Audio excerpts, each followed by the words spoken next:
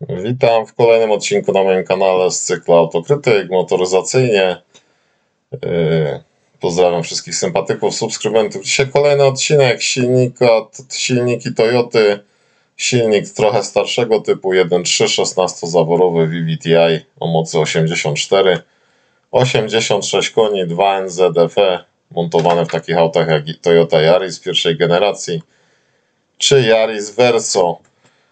Silnik, podobna konstrukcja, yy, czterocylindrowy, 16 zaworów, trysk wielopunktowy, rozrząd na łańcuchu, yy, trochę ponad 3,5 litra oleju silnikowego, 5W30, wymiana co 15 tysięcy lub co roku.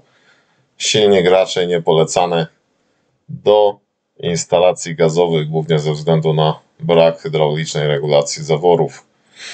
Co do zalet silnika, na pewno dosyć dobra dynamika, elastyczność tego silnika mała, awaryjność, sam silnik jest dosyć trwały, bezobsługowy rozrząd na łańcuchu, dosyć małe spalanie, e, tutaj w okolicach 6-7 litrów.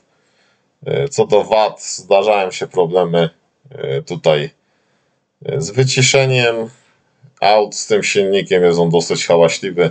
Na wyższych obrotach, tak, tak, także problemy z wyciekami oleju e, spod miski olejowej czy pokrywy zaworów.